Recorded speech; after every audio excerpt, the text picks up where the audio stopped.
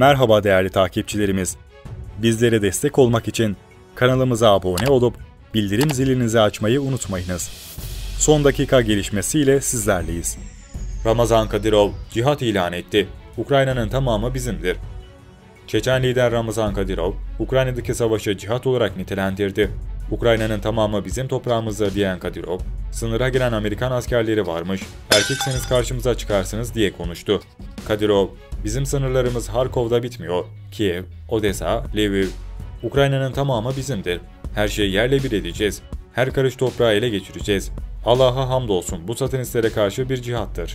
Kadyrov daha sonra Romanya-Ukrayna sınırına yerleşen ABD'nin 101. Hava İndirme Tümeni'ne meydan okudu. Ukrayna sınırına gelen Amerikan askerleri varmış. Erkekseniz karşımıza çıkarsınız. Kıymetli takipçilerimiz, bir haberimizin daha sonuna geldik.